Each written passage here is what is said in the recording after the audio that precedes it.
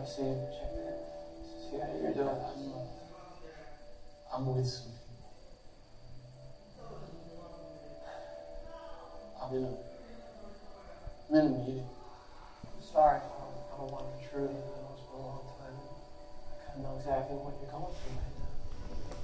You were so there for me with my parents. That's why I'm, I'm here for you. Good to see you, man. Good to see you. Sorry about your dad.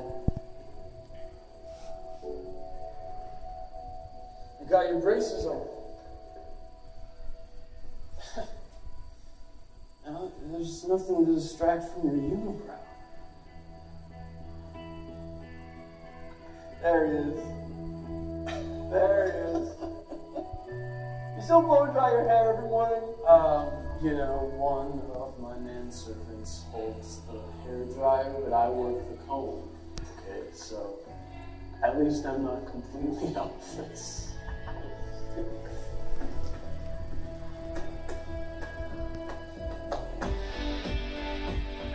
After graduation, I went to Brazil, then Singapore, That's right, yeah. and then Europe. You know, I went to Europe. I saw you.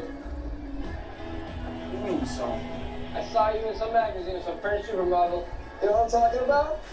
Yeah, yeah. Dude, that whole model thing is so exhausting. I know.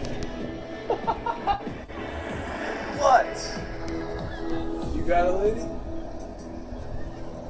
Ah. that's a question.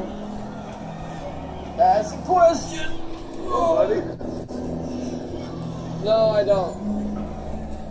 Yeah,